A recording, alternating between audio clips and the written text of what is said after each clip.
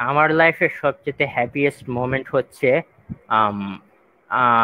আমি আমার লাইক প্রতিটা আর্টিস্টেরই এমন একটা গান থাকে মানে ছ্যাকা ছ্যাকা টাইপ একটা গান থাকে। So so I was trying to create that since class nine but দেখা যাচ্ছে um, আমার সিঙ্গার হয়তো ভালো ছিল না অথবা আমার মিউজিক প্রোডাকশন ভালো ছিল না। তো এরকম করতে করতে আমাদের লাইক হাজারো প্রজেক্ট জাস্ট ড্রপ করা হয়েছে বিকজ অফ কোয়ালিটি বাট ভার্সিটিতে ওঠার পর ফারহানুর রাব নামের এক ছেলের সাথে পরিচয় হয়। সে মোটামুটি খুব সুন্দর গান গায় খুব খুব সুন্দর লেখালেখিও করে। হ্যাঁ সে লাইক খুব সুন্দর লেখালেখি করে। সো তার সাথে বসে আমি আমি একটা প্রজেক্ট তৈরি করেছিলাম যে লাইক আমরা তো মরলে সবাই ক্রাশ খাই।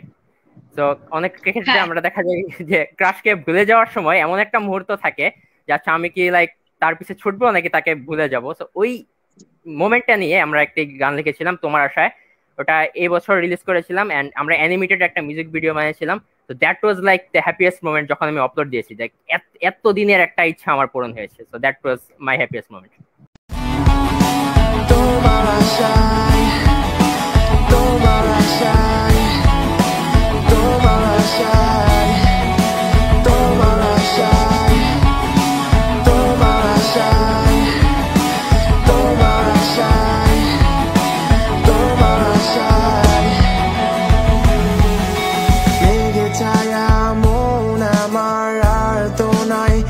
sitting bar, man in a arbor.